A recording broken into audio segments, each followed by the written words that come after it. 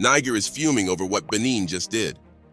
Benin and Niger have a long-standing history of political, economic, and cultural exchanges. Their bilateral relations have been shaped by various factors such as security concerns, regional integration initiatives, and economic cooperation. Recently, tensions between the two West African countries have escalated, particularly over border disputes and trade issues. In today's video, we will explore a significant development. The military leaders of Niger have escalated the border spat with Benin, leading to the blocking of Chinese oil exports. We'll delve into the reasons behind this conflict, its consequences, and other factors contributing to the rising tension between these nations in recent months. Additionally, we will discuss the recent directive for U.S. troops to leave Niger. Before we continue, please like this video and subscribe to the channel to stay updated on related topics. In the latest events, Ali Mahaman Lamine Zeine, the Prime Minister of Niger, stated that trade agreements with Niger's Chinese partners were disrupted due to Benin's embargo on oil shipments. This statement further intensified the conflict, with Zeine citing security concerns as the reason for not fully reopening Niger's border with Benin. In retaliation, Benin declared that it would only relent if Niger reopened its borders for Beninese goods and restored diplomatic ties. This blockade jeopardizes Niger's $400 million deal to begin selling crude oil to China. The escalating tension between Niger and Benin over border and trade issues highlights the complex and often volatile nature of international relations in the region. Benin's capital port is crucially linked to Niger's Agadem oil field through a 2,000 kilometers Chinese-built pipeline. However, Niger's Prime Minister, Ali Mahaman Lamine Zaina, highlighted that the blockade by Benin violated around a dozen accords signed by Niger, Benin, and the Chinese company PetroChina. One of these oil export agreements explicitly stated that Benin could not unilaterally modify or limit the agreements without the consent of the other parties. This means Benin agreed not to take any action that would halt the flow of Niger's crude oil to the international market. Relations between the two nations have been strained since the coup in Niger in July 2023 which led to the imposition of harsh sanctions by the West African regional body, ECOWAS, for over six months. These sanctions included strict measures imposed by Benin and ECOWAS, such as border closures, to pressure the military junta to return power to the elected government. In December, under ECOWAS provisions, the Beninese president announced the lifting of the suspension on imports of goods transiting to Niger via the autonomous port of Cotonou. Although there was a slight easing of tensions in February, Niger has still refused to allow products from Benin to cross its land border. This blockade has significant economic implications. Benin was expected to collect transit duties and tax revenues proportional to the volume of Nigerian oil transported through its port. The ongoing tension and the blockade jeopardize this potential revenue, highlighting the broader economic impact of the political strife. Niger's decision to block Chinese oil exports through Benin as a response to the embargo exacerbates the conflict. The $400 million agreement to begin selling crude oil to China is now in jeopardy, further straining relations between the two countries. This situation underscores the complexities of international agreements and the far-reaching consequences of regional political instability. The blockade not only disrupts economic activities, but also reflects the deep-seated geopolitical tensions in West Africa. Amidst strained diplomatic relations, the critical infrastructure linking the Agadem oil fields to international markets is under threat. This infrastructure includes a 1,980 kilometers pipeline, part of a larger 2,000 kilometers Chinese-built pipeline that extends through Benin. According to a 2019 National Petroleum Plan, Niger was poised to become a major regional oil producer with the completion of this pipeline, which connects Koulélé in Niger to the port of Semé in Benin. The plan projected a significant increase in production to 110,000 barrels daily. However, the optimism surrounding this project was dampened following the military coup that overthrew President Mohamed Bazoum in July of the previous year. The current dispute is jeopardizing this project and straining relations between Niger and Benin, which were previously close trade partners. Benin stands to lose approximately $7 million daily in oil transit fees that Niger would have paid. Before the coup, most of Niger's imports and exports passed through Benin, but they are now rerouted through Togo.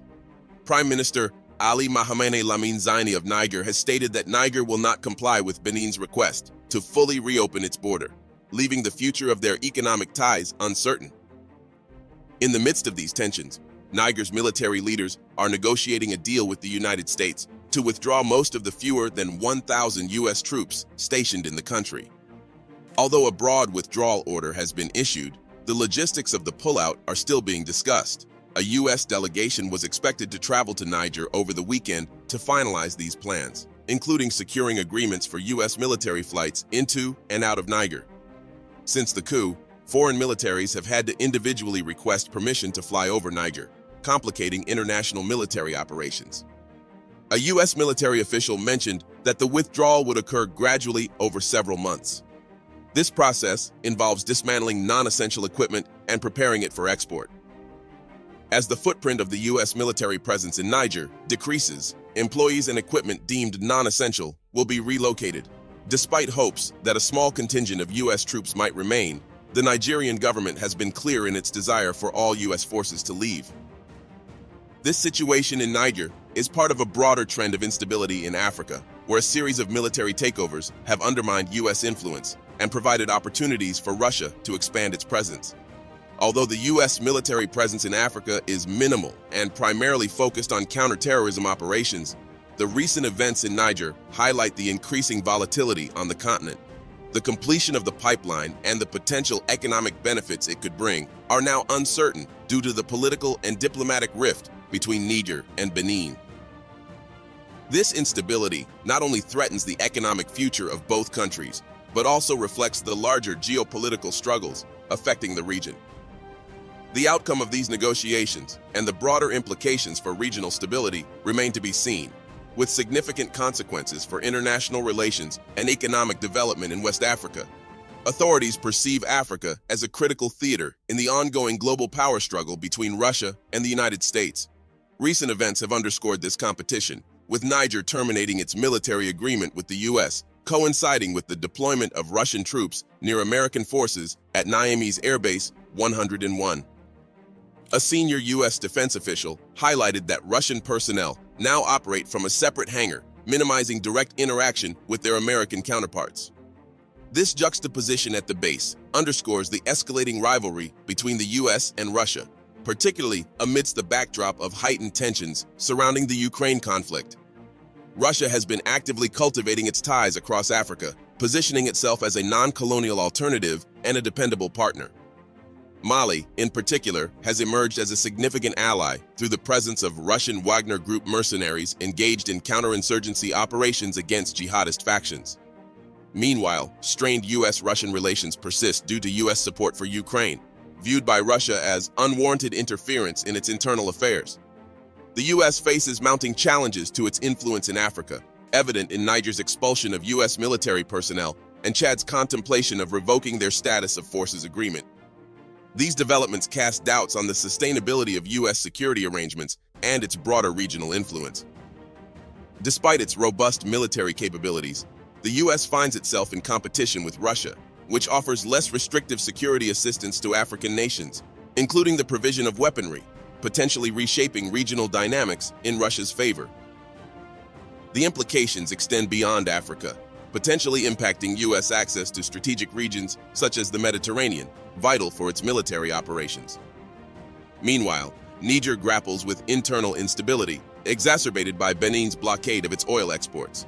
This economic turmoil poses a significant threat to Niger's oil-dependent economy and strains bilateral relations between the countries involved. Resolving these issues will require diplomatic efforts aimed at restoring mutual cooperation and ensuring economic stability in the region. The international community must vigilantly monitor the situation and advocate for a peaceful resolution. The disruption of commercial agreements undermines established trade frameworks and sets a concerning precedent. International involvement is crucial in resolving this conflict, ensuring regional stability and prosperity by urging both parties to be accountable and fostering communication. Long-term economic diversification and reducing dependence on single commodities alongside enhancing trade relations with other nations are pivotal objectives for Benin and Niger. These efforts support sustainable development and economic resilience, mitigating the impact of trade disputes. Dialogue between the two nations is imperative, necessitating swift decisions that prioritize equitable trade and collaboration. Such measures not only foster prosperity, stability, and economic growth domestically, but also regionally. However, Benin's decision to prevent its landlocked neighbor from using its port for exporting crude oil may escalate tensions between the two countries. This action could lead to a heightened conflict if not resolved diplomatically and through dialogue. It is essential for both parties to seek peaceful resolutions and avoid actions that could exacerbate the situation. Your thoughts on these developments are welcome in the comments section below. Don't forget to like and subscribe to our new channel for more insightful videos. Thank you for watching and stay tuned for our next update.